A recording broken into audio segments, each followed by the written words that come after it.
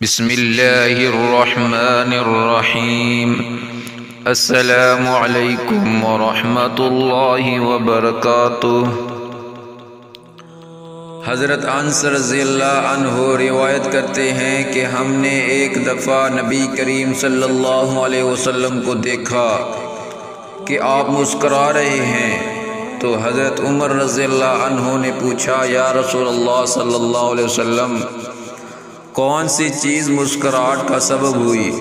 فرمایا، میرے دو امتی اللہ تعالیٰ کے سامنے گھٹنے ٹیک کر کھڑے ہو گئے۔ ایک کہتا ہے کہ یا اللہ، اس نے مجھ پر ظلم کیا ہے، میں بدلہ چاہتا ہوں۔ اللہ پاک اس ظالم سے فرماتا ہے کہ اپنے ظلم کا بدلہ ادا کرو۔ ظالم جواب دیتا ہے، یا رب اب میری کوئی نیکی باقی نہیں رہی کہ ظلم کے بدلے میں اسے دے دوں۔ تو وہ مظلوم کہتا ہے کہ اے اللہ، میرے گناہوں کا بوجھ اس پر لاد دے۔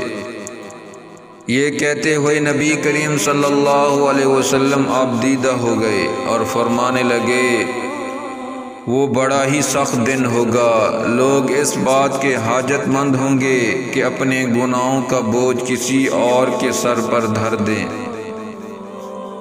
اب اللہ پاک طالب انتقام مظلوم سے فرمائے گا، نظر اٹھا کر جنت کی طرف دیکھ۔ وہ سر اٹھائے گا، جنت کی طرف دیکھے گا۔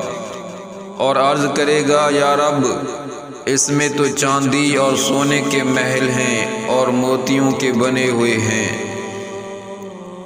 یا رب، کیا یہ کسی نبی، کسی صدیق اور شہید کے ہیں؟ اللہ تعالیٰ فرمائے گا، جو اس کی قیمت ادا کرتا ہے، اس کو دے دیے جاتے ہیں۔ وہ کہے گا، یا رب، بھلا اس کی قیمت کون ادا کر سکتا ہے؟ اللہ تعالیٰ فرمائے گا، تو اس کی قیمت ادا کر سکتا ہے۔ اب وہ عرض کرے گا، یا رب، کس طرح؟